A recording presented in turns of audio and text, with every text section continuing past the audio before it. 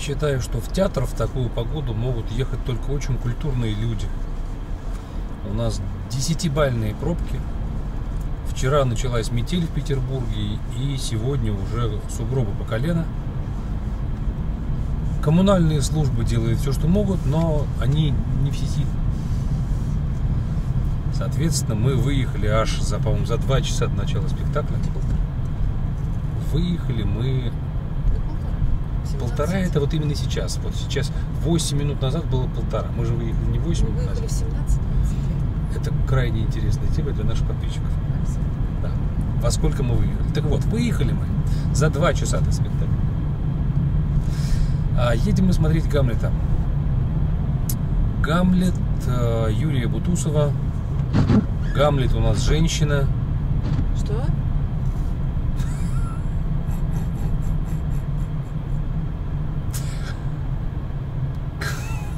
Ты не знала? Нет. А, Значит, эм, Поворачивай обратно. Высади меня. Обратно- Останови машину. обратно отсюда мы будем ехать час, потому что мы едем против пробок, а домой пробки, поэтому шансов увернуться от всего ам, предмета искусства у нас нет. Вернуться от искусства. Увернуться от искусства мы не можем, поэтому Почему Гамлет... ты мне не сказала? Слушай, я думал, что ты знаешь, я, честно, я не, не из попытки тебя поразить и сделать тебе приятно. Оригинальный способ. А, нет, я, я ничего не вижу дурного в том, что Гамлет женщина. В принципе, я могу поставить спектакль, где Гамлет будет женщиной, и это будет оправдано. Поэтому, ну, ради бога, э, такая трактовка тоже возможна. да. Корнет, вы женщина. Корнет, вы женщина. Все-таки я прав или не прав? Поз- Позвольте, милый граф. А, а нет, я, я, конечно же, я уже вкусивший современного искусства и побывавший и на Богомолове, и на Гамлете Фокина, и на чем мы еще были с тобой? На каком еще Гамлете? У Додина Льва Да. Абрамовича де Гавлета посмотрели. Вот, так как Юрий Бутусов, он прекрасно вписывается в эту э, Когорту? ко- когорту, то в этой когорте я надеюсь на лучшее, но готовлюсь к худшему, потому что, ну вот потому что, это д- долгий разговор, почему так происходит, происходит в современном искусстве. Ответы есть, но в Мантуе казнят торгующих такими веществами. Я сегодня что-то цитирую, цицирую. Цицирую. Я Цицерон сегодня. Цицерон, Цицерон же цицировал, правильно? Вот, поэтому у тебя есть что сказать? Ты фрапировал меня. Фрапировал. И тем не менее, есть какие-то ожидания у тебя? Да какие ожидания? Никаких. Но видите, современное искусство, оно влияет подавляющим образом на Александру. Она вот не видит света в конце тоннеля. Видишь ли, мой интеллектуальный уровень значительно ниже уровня современного искусства. Я не дотягиваю. Ну, Поэтому- тогда мы будем не дотягивать до современного искусства вместе. Каждый раз для меня это Как первый. как первый, да, что люди утверждают, что это искусство, а я никак не могу понять, почему же это искусство. Я не- Искусство это именно потому, что они утверждают. Это искусство утверждать. Искусство утверждения. Да. Мгм. Портер куда-то туда, направо. Мгм.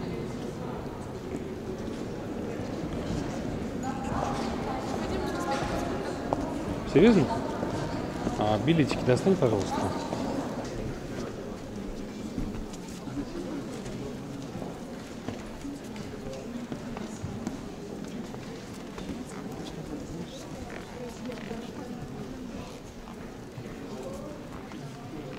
Мы только что узнали ужасную новость. Оказывается, спектакль «Гамлет. Точка кино» Юрия Бутусова длится сколько? Четыре часа с двумя антрактами. У нас есть какие-нибудь тяжелые наркотики с тобой? Твикс мы уже съели. Нет, я очень люблю Гамлета. Я считаю, что 4 часа для Гамлета это хорошее время, но для хорошего Гамлета. В общем, я не отвечаю за себя, что я не см- что я досмотрю до конца. 4 часа. Прощайте, товарищи, все на местах. Последний звонок наступает. Врагу не сдается наш горный Гамлет. Пощады никто не желает.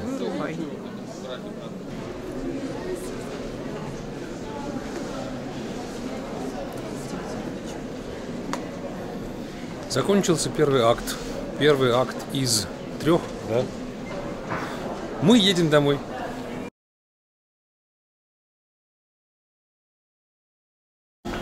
Мы посмотрели с тобой три Гамлета, да? Да. Ты можешь какое-то определить место вот среди этих трех Гамлетов, вот тому, что мы посмотрели сегодня? Ну вот там вот э, Додин, э, Богомолов, Бутусов. Нет, не Богомолов, Александренко мы смотрели, Фокин. Фокин, ну господи, фильм Богомолова хочу вплести сюда. Хорошо, Додин, Фокин, Бутусов. Вот эм, есть между ними какая-то разница? Ну, Вот. между Фокиным и Бутусовым. Ну, я, я не знаю. Ну, приличнее всего смотрелась Александринка. Мгм. Наверное, потом Фокин, потому что он не был настолько отвратительным. Так это одно и то же. Александринка и Фокин Ой, это одно и извини, то же. Додин. Додин. Он был не настолько отвратительным, как сегодня. Вот то, что было сегодня, это, ну, ну, следующее, это вот нужно просто публичная дефекация. нужна. Выдобыть следующую ступень. Я не удивлюсь, если она будет во втором акте, то я просто не хочу про это знать. Нет, нет, дефикация будет в третьем. Это в третьем. Это кульмина- кульминация Гамлета. Ну я просто я не хочу про это А знать. не- нельзя же вскрывать все карты сразу. Не так много физи- физиологических процессов можно. Ну, люди, понимаешь, они в первом антракте сходят выпьют, во втором сходят выпьют, в третьем уже полегче. Я тебе скажу так, что мне было крайне любопытно. Безусловно, э, все те физиологические мерзости, которые показывают в спектакле, они, безусловно, омерзительны до глубины души. Но мне любопытно было в сегодняшнем спектакле то, что я впервые среди Додина, Фокина и вот Бутусова увидел руку режиссера. Я увидел режиссерский рисунок спектакля, который артисты плохо ли, хорошо ли, но выполняют. Потому что у Додина режиссерского рисунка вообще не было. Это была какая-то галиматья. Они просто ходили абы кто, абы куда, абы зачем.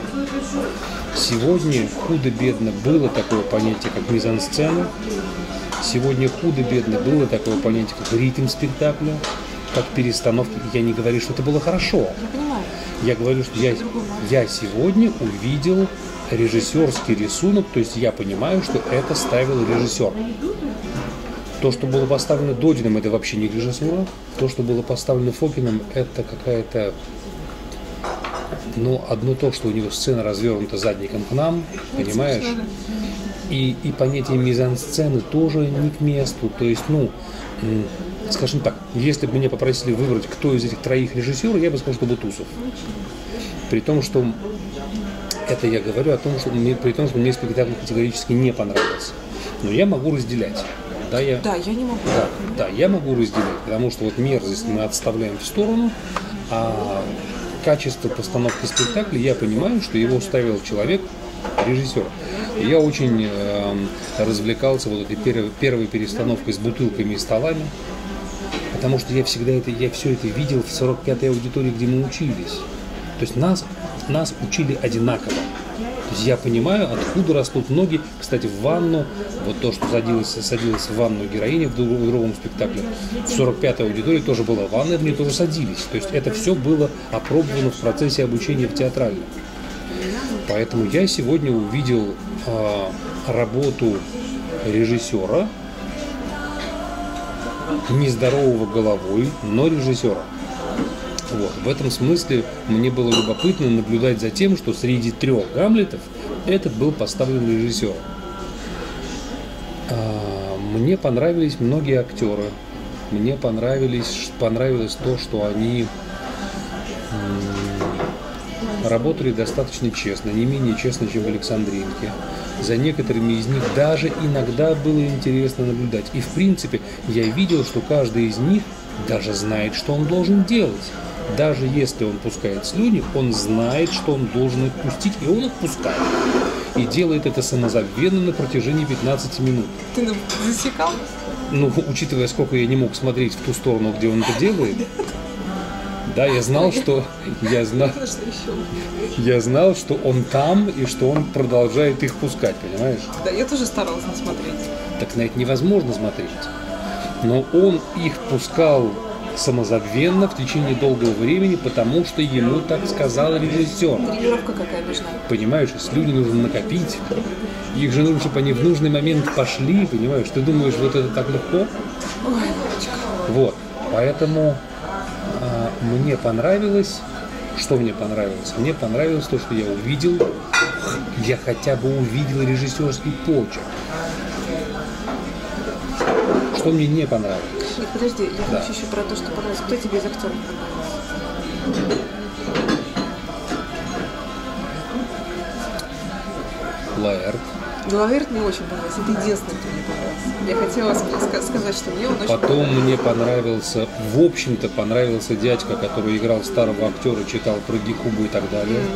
Понятно, что он э, придуривался, но просто у него самая прекрасная роль, потому что в придуривании он может быть свободен. И за ним хотя бы любопытно было наблюдать. Ам, ну, были моменты, когда актеры были живыми. То есть, если у Богомолова их не было вообще, там были просто какие-то отмороженные люди, то здесь бы- была хотя бы какая-то тень профессиональной работы. Лаэрт прекрасен, мне очень Вот, понимаешь? Поэтому Очень органичен. это, это, это к вопросу, когда люди говорят вот там, а, что я все отрицаю, мне ничего не нравится. Я даже могу в куче дерьма рассмотреть какие-то позитивные тенденции. Я умею рассматривать, и сегодня я это делаю. Хотя, например, эм, там, у Богомолова я позитивных тенденций не увидел. Опасный человек, Маргарита. Я опасный человек, да. А что мне не понравилось? Это очень слабая работа в смысле работы с э, материалом Шекспира.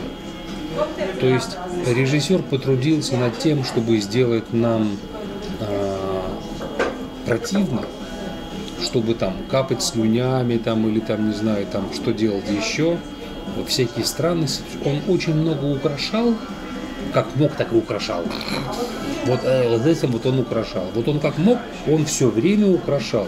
Что для кого красиво? подожди неважно украшал как мог так и украшал то есть вот эти все чешущиеся, грязные, слюнявые, плешивые люди, вот это его эстетика. Он такой, ему такое нравится. Беда в том, что он Шекспира-то не полюбил. То есть он без души отнесся к материалу. Для него Шекспир это обои на стене, больше ничего, для его украшения. То есть плешивость и слюни на первом плане, история Шекспира на втором плане, никому никому не интересно. Поэтому с точки зрения взаимодействия, я сейчас не, не говорю, был он близок или далек к моей трактовке, да, вообще к какой-либо трактовке. К чему? Да, хоть к какому-то смыслу, пусть к классическому.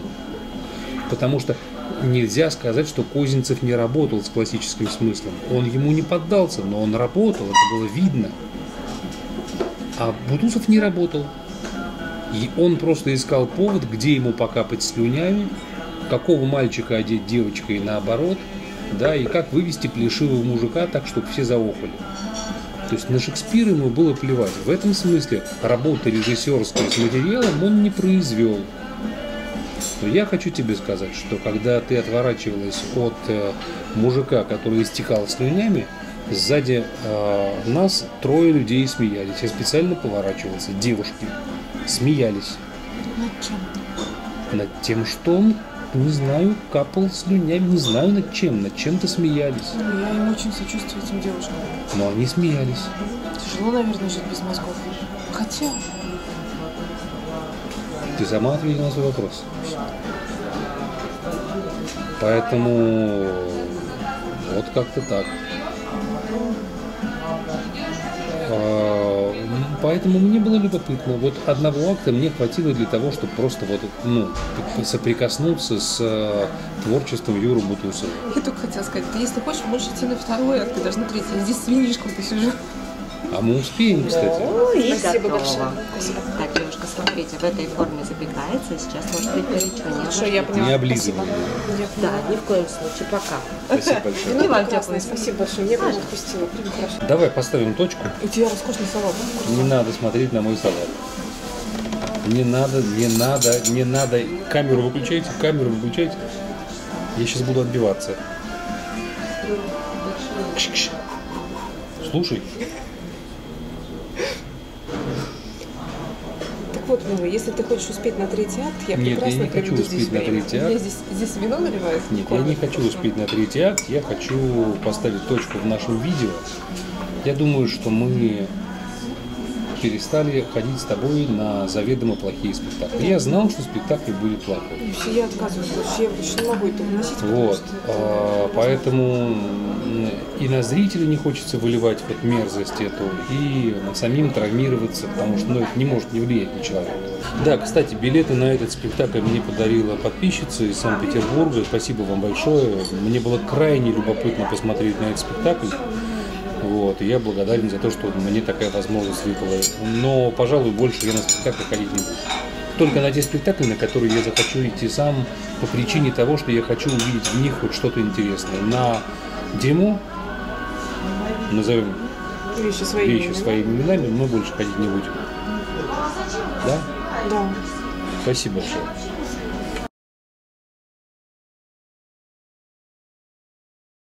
Чуть-чуть неловко получилось, извините. Здесь просто сидела замдиректора Ленсовета. Прекрасно. страшного, Прекрасно. Отлично. Ну, обычно она бы что-нибудь сказала, а тут она молчит. Может, А она и просто- сама недовольна. А потому что она понимает, что мы правду говорим. Нет, просто она понимает, что Вы знаете, я, наверное, даже вот походила, подумала, просто надо как-то все-таки объяснять, наверное, людям, что что такое бутылка. Меня знаете, что напрягает? Меня напрягает диссонанс, когда ты идешь а, в один из старейших театров, да, в Петербурге. Ты вроде как на что-то рассчитываешь, ты хочешь ну, там, получить удовольствие, ты идешь в театр, для тебя это событие. И бац, и ты получаешь вот такое. И ты не знаешь, что тебе с этим делать. Ну вот. Соглашусь с То есть, ну, все-таки там, да, есть Мариинка, есть там, я не знаю, Александринский театр, да, где тоже, в общем, не все хорошо, но тем не менее, есть Мариинка, Михайловский театр, там, не знаю, опера, балет, там вроде какие-то есть гарантии, более-менее. Ну, это тяжело испортить. Но когда ты приходишь там в театр, который не в полуподвальном помещении, там, да, не какой-то любительский, то есть, и ты попадаешь на вот такое. И, в общем, непонятно, что с этим делать. Ну да, да, да. Ну, Вот я, меня вот это больше всего напрягает. Что я не могу иметь гарантию того, Да, что тебе это не покажут хорошо. мерзость. Вот правда, я не- вот меня вот это больше всего поражает. А директор правильно молчал.